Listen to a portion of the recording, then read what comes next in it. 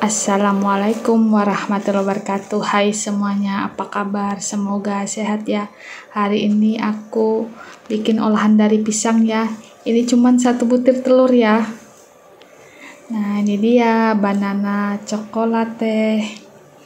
ini beneran enak banget nyoklat sekali. Wajib dicoba ya untuk cemilannya atau minum sama teh. Nih enak banget lembut lagi pisangnya terasa bikinnya mudah cuman diaduk-aduk ya nih kalau nggak di open bisa dikukus juga ya.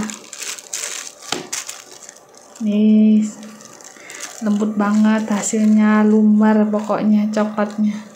Ini pencipta coklat wajib dicoba ya. Ini aku habis satu kurang kayaknya makan lagi. Beneran nih enak banget lembut. Nah ini dia bahannya udah aku tulis semua ya. Ini aku pakai pisang kepok ya. Ini dihaluskan dulu. Pakai garpu aja ya. Ini nggak pakai mixer kok.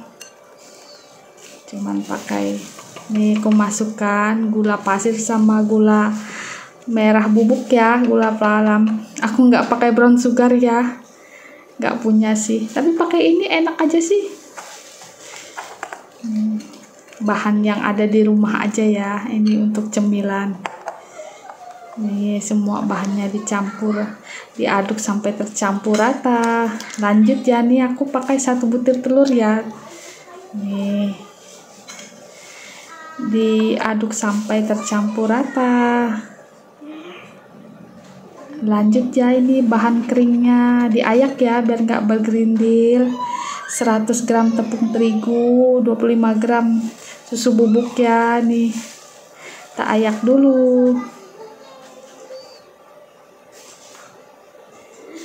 Lanjut ya nih aku masukkan 2 sendok makan coklat bubuk sama setengah sendok teh baking soda seperempat sendok teh baking powder terus seperempat teh vanili bubuk sama sejumput garam ya. Nih semua bahannya udah aku tulis diayak ya.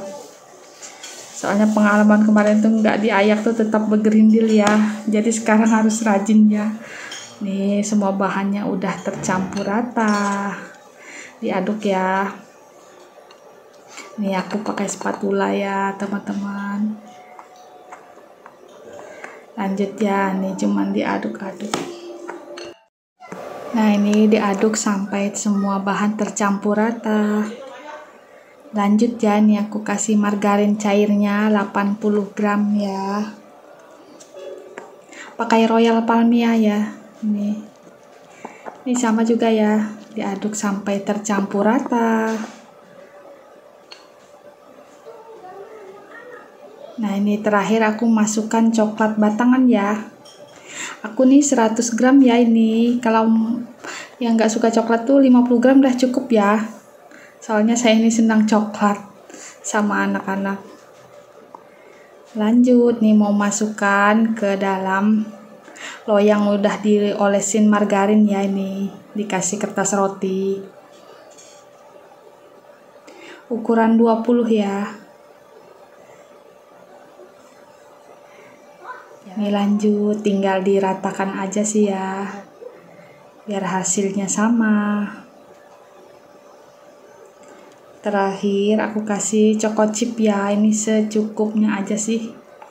Ini seberapa sukanya pakai coko chip. Nih. Karena di rumah ini senang coklat ya teman-teman.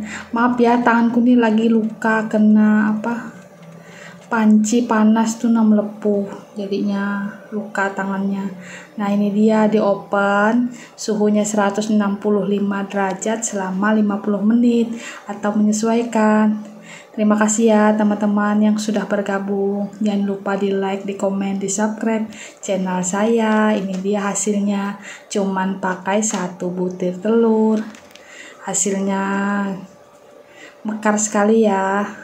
Nih nih enak banget lembut. Dimakan panas-panas eh uh, tambah sedap. Nih ini hasilnya. Banana cokolate terima kasih.